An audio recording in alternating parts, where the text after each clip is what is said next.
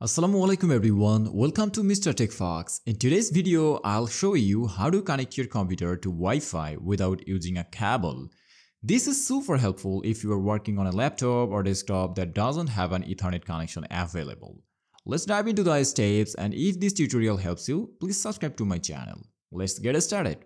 First of all, we are gonna ensure our computer has Wi-Fi capability. So we're gonna check our device for built-in Wi-Fi.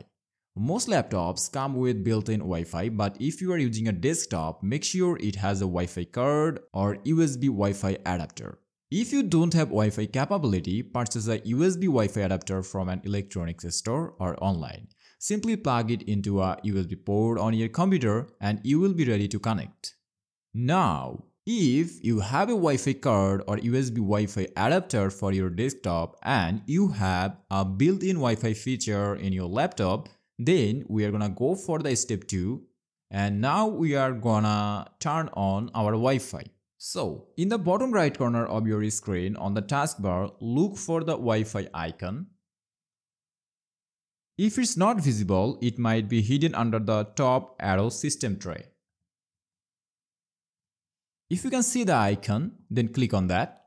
And here you will see a list of available Wi-Fi networks and from here you have to select your Wi-Fi network. Then you have to enter the password of it. Then just normally connect it. That's very simple, I think you know about it. Now, come to the step 4. If your computer doesn't detect the network, restart your router by unplugging it for 30 seconds and plugging it back in. Or if the connection fails, go to your settings and then choose network and internet and select Wi-Fi.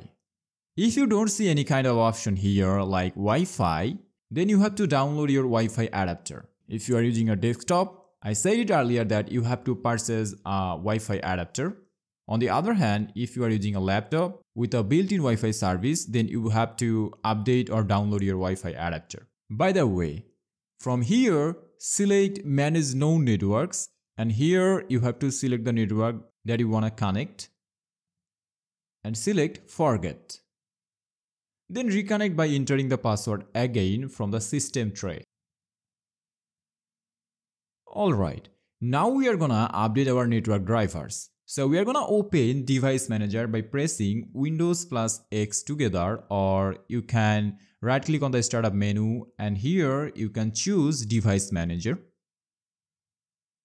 And now you will see a Windows pop up like this. So normally expand the network adapters and from here you can see your Wi-Fi adapter. And here make sure that all of your driver related to Wi-Fi are up to date. So normally you have to right click on them and select update driver individually.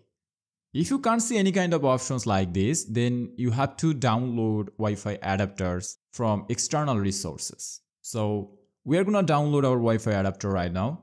So normally visit on your browser and type on the address bar Intel Wi-Fi adapter and you will see an interface like this. Click on the first page and from here try to download this Wi-Fi adapter. Then try to install it and restart your PC and try to find if the Wi-Fi option is available or not. And if this also doesn't work, then you have to download your Wi-Fi adapter according to your system. So normally you have to click on the startup menu and search your system information and open that. And here you will see system model of you. Here you can see that the system model of mine is MS7018. So in the browser you have to type here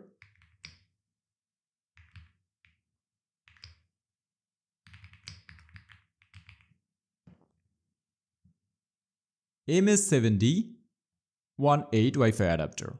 Make sure that you are replacing MS7018 with your own system model. Press enter and from the website try to find the Wi-Fi adapter for your device. By the way, if your computer can't find any kind of Wi-Fi network, then you can use a Wi-Fi hotspot as an alternative. Just normally turn on hotspot from your phone and on your computer locate the Wi-Fi hotspot network under the Wi-Fi list. Then you have to enter the password and connect. And that's it. You have now learned how to connect your computer to Wi-Fi without a cable. Whether you are using built-in Wi-Fi, a USB adapter, or even a mobile hotspot, you are all set to enjoy wireless internet. If this tutorial helped you, please like, share and subscribe to Mr. Tech Fox for more helpful tech guides. See you in the next video. Till then, Allah Hafiz.